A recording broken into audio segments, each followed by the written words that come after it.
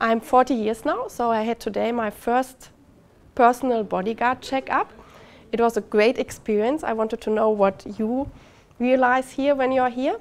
And um, yeah, it was a nice atmosphere, a really sympathetic team, and the most important thing, my, my health situation is great, so we will see next year.